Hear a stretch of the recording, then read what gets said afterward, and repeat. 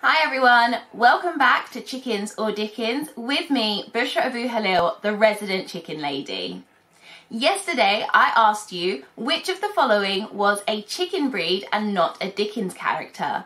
And I gave you the options of A. Longford, B. Leghorn, or C. Tulkinghorn. The correct answer was B. Leghorn. Leghorns are actually the most common breed of commercial egg-laying chickens. Did you get it right? Tweet us and let us know. Who's ready for round two?